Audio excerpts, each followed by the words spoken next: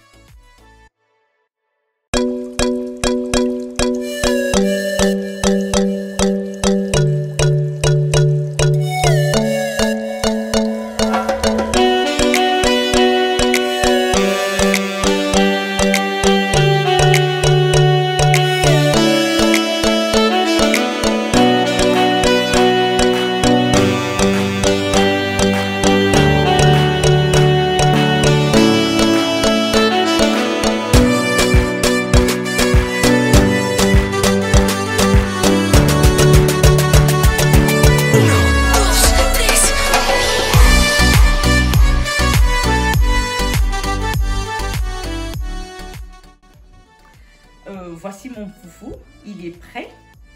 Euh, le foufou est un aliment de base très populaire en Afrique. Euh, il accompagne toutes sortes de sauces, ragoûts, viande braisée, poulet, poisson, en tout cas toutes sortes de nourriture. Comme disaient certains, no foufou, no life. Ok, ben, je vous souhaite bon appétit. À bientôt!